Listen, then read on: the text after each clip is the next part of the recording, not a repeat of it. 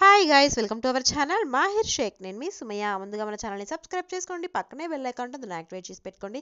ఈరోజు మనం చేయబోయే రెసిపీ వచ్చేసరికి మంచి బెండకాయ పులుసుని అయితే పెట్టేద్దాం అనమాట సో కావాల్సిన పదార్థాలు అయితే చూపిస్తాను. చేయండి. పావు కేజీ వరకు బెండకాయలు తీసుకొని ఇలా కట్ చేసి పెట్టుకోవాలి.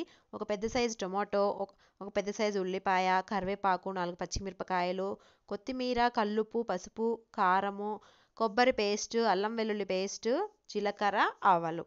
సో ప్రాసెస్లోకి అయితే వెళ్ళిపోదాం. ఫస్ట్ టైం మన ఛానల్ చూస్తున్న వాళ్ళైతే సబ్స్క్రైబ్ చేసుకోండి. పక్కనే బెల్ ఐకాన్ కూడా ఉంటుంది. దాన్ని యాక్టివేట్ చేసి పెట్టుకోండి. ఇప్పుడు మనం ఒక గిన్నె అయితే పెట్టేసుకొని పులుసు ఎందులో అయితే చేయాలనుకుంటున్నామో ఆ గిన్నె అయితే పెట్టేసుకొని సరిపడా పోపుకి సరిపడా నూనె అయితే యాడ్ చేసుకోవాలి. నూనె యాడ్ చేసుకున్న తర్వాత నూనె హీట్ ఎక్కిపోయిన తర్వాత ఆవాలు జీలకర్రను అయితే వేసి బాగా వేయించుకోవాలి. వేగిపోయిన తర్వాత మనం ముందుగా కట్ చేసి పెట్టుకున్న ఆనియన్ కూడా వేసుకోవాలి. ఆనియన్తో పాటు పచ్చిమిరపకాయలు మరియు కరివేపాకు మూడు వేసి మొత్తాన్ని మగ్గబెట్టుకోవాలి. ఫ్రై అవ్వకూడదు మగ్గపెట్టుకోవాలి. ఇవన్నీ చిన్నగా మగ్గిపోయిన తర్వాత మూత పెట్టేసుకొని ఒక టూ మినిట్స్ మగ్గపెట్టుకున్న తర్వాత ఒకసారి మగ్గినవా లేదో చూద్దాము. ఇప్పుడు ఒకసారి స్పూన్తో కలి కలేసుకొని మనం ముందుగా కట్ చేసి పెట్టుకున్న టొమాటో బెండకాయలు వాటితో పాటు కల్లుప్పు పసుపు కూడా వేసుకొని మొత్తాన్ని ఒకసారి మొత్తం కలగలిసేలాగా కలుపుకోవాలన్నమాట. ఒకసారి ఫస్ట్ ఒకసారే మనం స్పూన్ పెట్టి కలుపుకోవాలి. తర్వాత బెండకాయలు కొంచెం కుక్ అయిపోయిన తర్వాత మనం ఏమాత్రం స్పూన్ పెట్టకూడదు. చివర అంచులు పట్టుకొని కొంచెం ఎగిరేసినట్టు అట్లా కలుపుకోవాలన్నమాట మొత్తం కలిసేలాగా. ఇలా స్పూన్తో మాత్రం కలుపుకోవద్దు. సో బెండకాయలు అయితే మగ్గిపోయిన తర్వాత చింతపండు పులుసును కూడా యాడ్ చేసేసుకోవాలి. చింతపండు పులుసుని చూడండి. క్వాంటిటీ పులుపు ఎంతవరకు కావాలో అంతవరకు అయితే యాడ్ చేసుకోవచ్చు. తర్వాత మనం కారం కూడా యాడ్ చేసేసుకోవాలి.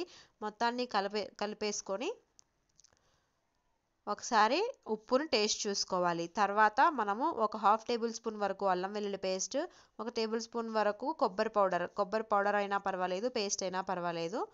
మొత్తాన్ని వేసి బాగా కలుపుకోవాలి.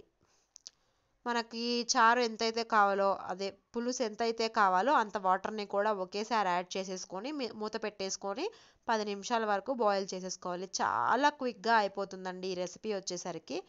చాలా తొందరగా చేసేసుకోవచ్చు. చాలా అంటే చాలా ఈజీ కూడాను. సో ఒకసారి బెండకాయ పులుసు మరిగిపోయిన తర్వాత మనము కొంచెం కొత్తిమీర మరియు ఇవేంటంటే కరివేపాకు కాడలు అనమాట కరివేపాకు కాడలు ఎందుకు వేశారండి అని అడగ అడగొచ్చు. కరివేపాకు కూడా వేసాము. కానీ కరివేపాకు కాడలు అనేది వాటి అరోమా అనేది పులుసులోకి వచ్చి చాలా అంటే చాలా మంచి అద్భుతమైన టేస్ట్ వస్తుంది అనమాట తర్వాత బాయిల్ అయిపోయిన తర్వాత తీసేసుకొని పక్కన పడేయచ్చు. సో ఇప్పుడు మనం బెండకాయ కుక్ అయిందో లేదో చూద్దాము. చూడండి బాగా కుక్ అయింది. సో చివరిసారిగా మనం ధనియా ధనియా పౌడర్ అయితే వేస్తున్నాము. ధనియా పౌడర్ వేసి కొంత కొత్తిమీర అయితే యాడ్ చేసేసుకొని మనం స్టవ్ ఆఫ్ చేసేసుకోవాలి. అంతే చాలా సింపుల్ కదా చాలా ఈజీగా ఉంది కదా. సో మేము మరి మీరు కూడా ట్రై చేసి కామెంట్ బాక్స్లో మెన్షన్ చేయండి. సో మరిన్ని ఇంట్రెస్టింగ్ వీడియోస్ కోసం మా ఛానల్ని సబ్స్క్రైబ్ చేసుకోండి లైక్ చేయండి షేర్ చేయండి సబ్స్క్రైబ్ చేయండి.